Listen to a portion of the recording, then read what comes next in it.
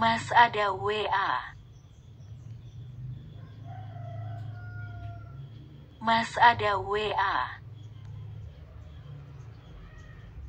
Selamat datang di channel YouTube saya. Baik teman-teman, pada video kali ini aku akan berbagi sebuah tutorial dari aplikasi WhatsApp yaitu bagaimana cara mengubah nada notifikasi WhatsApp menjadi suara Google seperti di awal pembuka video tadi.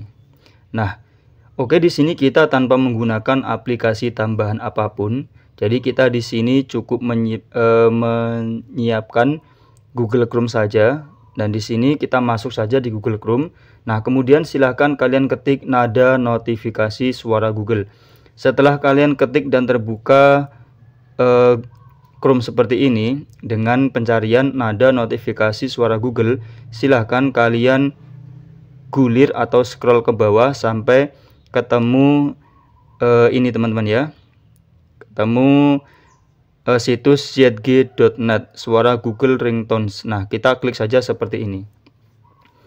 Nah, kemudian di sini akan muncul banyak sekali model suara Google yang bisa kalian download dan kalian gunakan tentunya untuk mengisi nada dering notifikasi WhatsApp milik kalian.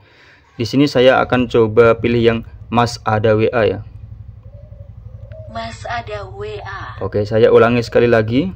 Mas ada WA. Oke, satu kali lagi. Mas ada WA. Nah, ini di sini untuk mendownloadnya kita klik saja seperti ini.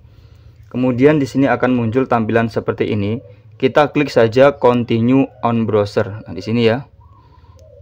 Untuk sekedar informasi kalau kalian diarahkan ke aplikasi baik itu Shopee ataupun Lazada, kalian klik saja tombol kembalinya.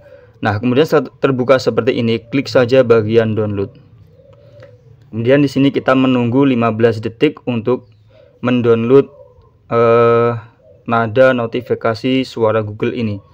Jadi kita tunggu sebentar. Di sini kita menunggu 15 detik. Nah, bisa kalian lihat di sini klik saja download lagi dan di sini detail untuk eh, suaranya sudah masuk Kalian bisa lihat di sini akan saya coba putar. Mas ada WA. Mas ada nah, WA. sudah masuk ya teman-teman. Kemudian di sini kita bisa mengaturnya di WhatsApp kalau sudah kita selesai download nada uh, suara Google tadi. Klik saja setelan WhatsApp, kemudian klik saja bagian notifikasi. Kemudian klik saja nada notifikasi dan klik bagian file manager Nah, di sini adalah suara Google yang tadi kita download yang Mas ada WA ini. Klik saja seperti ini, kemudian klik bagian OK di bawah. Nah, selesai nada notifikasinya sudah berubah menjadi suara Google. Oke, tunggu sebentar akan saya coba tes dengan mengirimkan sebuah pesan.